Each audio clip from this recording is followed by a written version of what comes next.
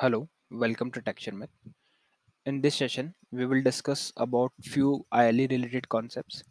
So mainly we will discuss about the procedures, sub procedures and main procedures and we will see like how we can call the uh, a sub procedure that is declared in the same program and so let's go through the program.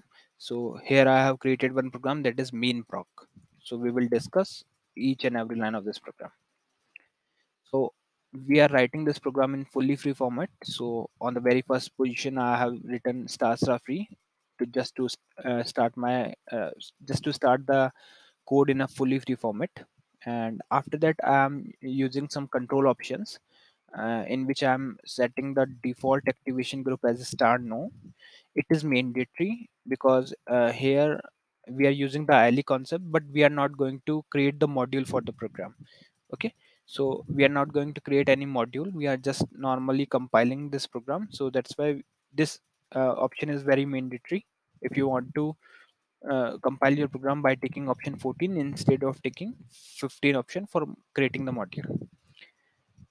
And after that i'm declaring my main procedure. So with this keyword main keyword you have to put the main procedure name and it should be always same as your program name so my program name is also main proc so that's why i have written it as a main proc okay. So these two uh, control option we have to put just uh, to create the program where we will declare the sub procedures and then uh, we will call that sub procedure into the main procedure. Okay. Now from here line number 14 my main procedure is start.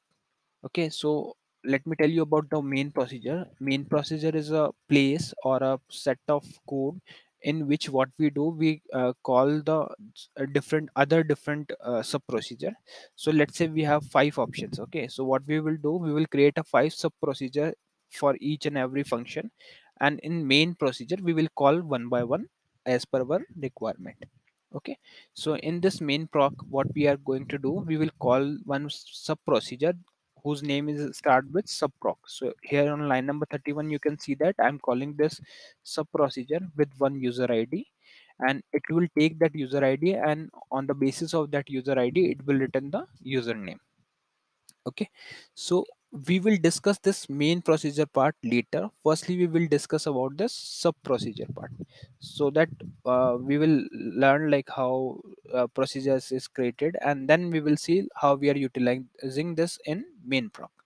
So from line number 14 i am directly going to line number 42 and here our pro sub procedure part is started so first step to declare a sub procedure is you have to write in that way like dcl proc and your sub procedure name. So my sub procedure name is subproc here you can choose any name. It is not mandatory to uh, keep it same as a uh, uh, your program name. But in while declaring the main procedure it should be same as your main proc or uh, your program name okay? So the first difference between ma- uh, sub procedure and main procedure is that it should be uh, for main procedure uh, the name of the main procedure should be same as program name but uh, sub procedure can be of any name okay? After that we have to declare its pi pi means procedure interface.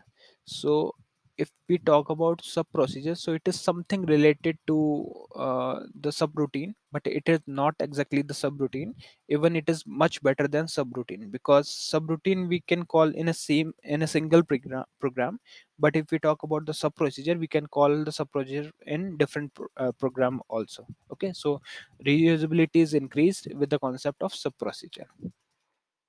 So on line number 46, we are declaring the PI. So we have to write in that way DCL PI and then your sub procedure name. So my sub procedure name is subproc. Okay. Uh, you can change any name, but it should it, it would be great if you, you are using the same name. Okay. And then after that you have to write the uh, like here I'm writing the char 30, which means it will return some data of character type of length 30 okay? So here we usually keep the those values which we want to return from this sub procedure. And inside the pi we have to write those values which we want to accept from uh, as a parameter for this procedure. So what this sub procedure will do subproc will do it will take user id as an input so of type numeric 4 and it will return the username on the basis of that user id okay. And below to that i am declaring one variable. That is username that we will uh, in which we will store some information and send back to the uh, main procedure where we are calling this. Okay. So now the main logic started.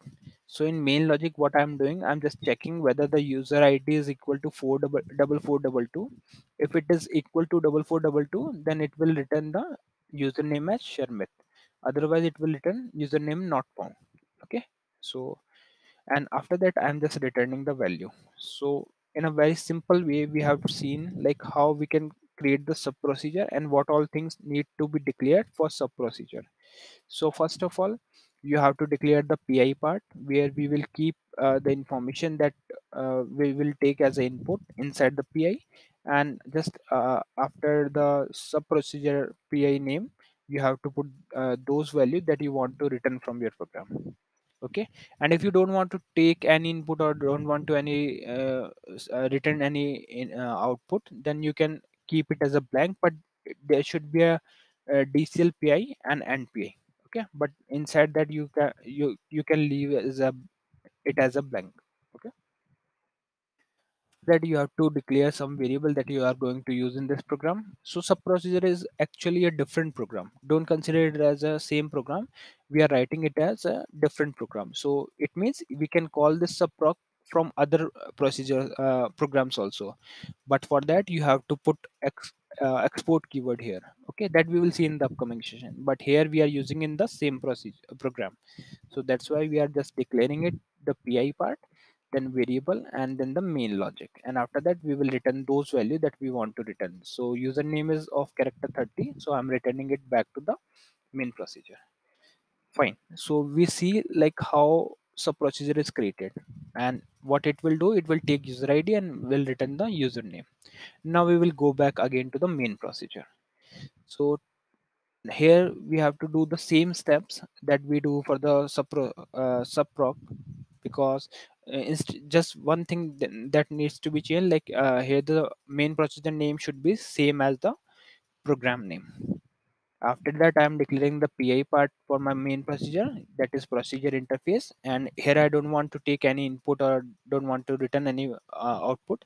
That's why i'm keeping uh, it as blank like dcl pi main proc and end pi okay and below to that i'm declaring two variables that is user id of numeric 4 and username as character 30 and below to that i'm writing my main logic. So i'm just putting uh, the user id as double four double two. And below to that on line number 31 i'm calling my sub procedure that is subproc with the one parameter that is user id okay so what it will do it will call my subproc uh, with this value double four double two. But please make sure that you are passing it uh, within the uh, variable.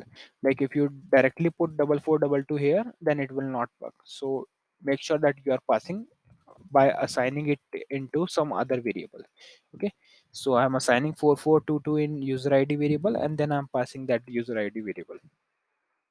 Once it is executed it will return the username and that username will be stored in this username variable and on line number 33 i'm just displaying this username. And below to that i'm using star inlr equals to star on. It means uh, my last uh, last record indicator is turned on. Or it is uh, up to you like you can use both of these function but uh, of course but it uh, like if you want to return something then you can use uh, return. Otherwise you can keep only this star inlr on that is also sufficient okay? So it is not mandatory to keep both of these values okay? And after that i'm just doing the end proc so that's how we can declare the main procedure. So the first portion where we are calling the sub procedure is the main procedure okay? And the procedure that we are calling is uh, called as sub procedure so this is the only difference between the procedures main procedures and sub procedures and let's say uh, if there is a requirement where we are not going to return any value in that case we can remove this line. And instead of that we can di- directly write star inlr equals to star on okay?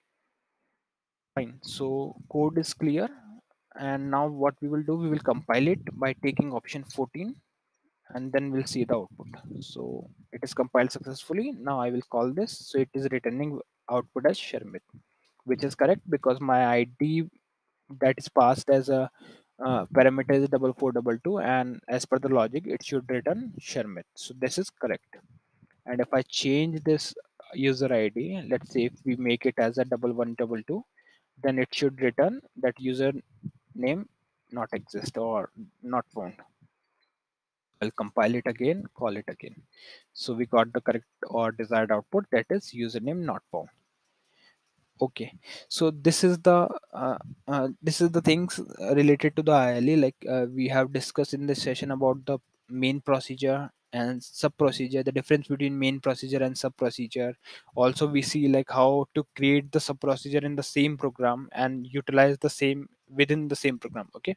So mainly we are creating in same uh, same program and we are calling it also in the uh, main or same program. Okay so yeah that's it for this session in the upcoming session we will discuss few more things so thank you for watching tech Sharmit.